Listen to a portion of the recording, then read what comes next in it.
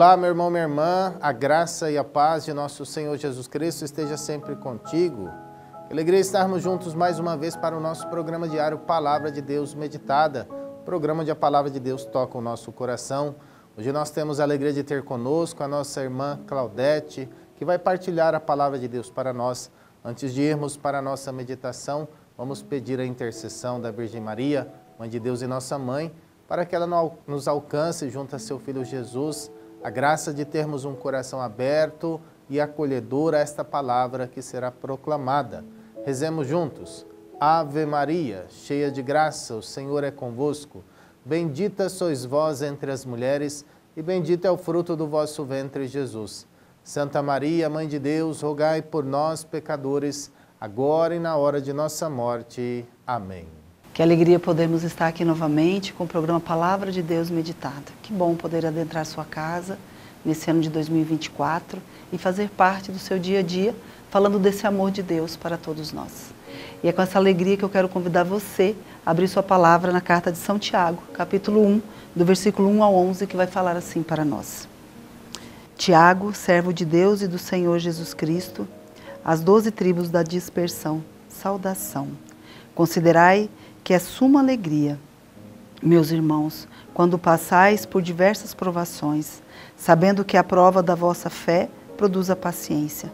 Mas é preciso que a paciência efetue sua obra, a fim de seres perfeitos e íntegros, sem fraqueza alguma.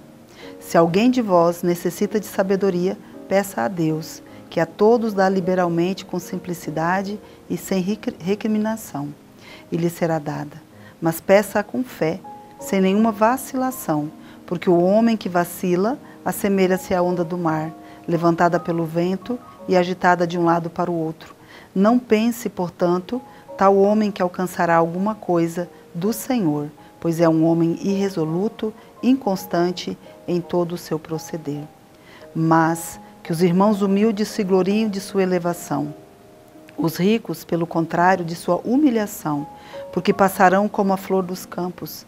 Desponta o sol com ardor, seca a árvore, cai sua flor e perde a beleza do seu aspecto.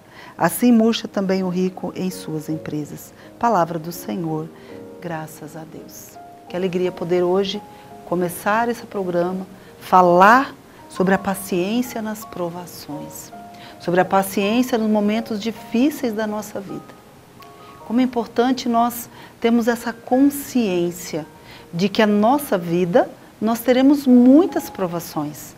E a palavra de Deus ela vai falar que é de suma alegria, meus irmãos, quando passais por diversas provações. Aos nossos olhos humanos, quando a gente lê isso nessa carta de São Tiago, quando a gente lê isso, parece loucura aos nossos olhos humanos. Como assim se alegrar na provação? Como assim se alegrar por passar momentos difíceis? Mas, meus irmãos, toda aprovação que nós passamos é um momento de reflexão. É o momento de que Deus nos dá para nós retornarmos ao amor de Deus. E a palavra de Deus ela vai falar assim, que quando nós estivermos passando por essa aprovação, por uma aprovação, peça a Deus sabedoria. Peça a Deus discernimento. Peça a Deus algo que venha do alto, que venha do céu, para que você possa enfrentar essa dificuldade que você está passando, que eu estou passando, com alegria e com paz. Esse ano de 2024, nós somos chamados a pedir ao Senhor uma paz interior que vai transbordar vai transbordar todos os sentimentos, situações, todas as lutas, todas as necessidades, todos os momentos fáceis e difíceis. E é isso que o Senhor quer nesse primeiro dia falar para mim e para você. Buscar essa paz interior, buscar essa grandeza interior, essa cura interior, essa liberdade interior que nós temos no Senhor. Todas as vezes que eu passo por uma provação, aonde eu vou ao encontro do Senhor por causa dessa aprovação que vem. E eu descubro que esse momento de luta da minha vida é o melhor momento. É o momento que nós podemos dizer assim, meus irmãos, é o momento que eu busco e eu encontrei a minha paz interior. Porque é na dor que o Senhor me segurou, é na dor que o Senhor me carregou, é na dor que o Senhor me sustentou. Feliz do homem que entende isso, meus irmãos Feliz o homem que busca fé nesses momentos difíceis.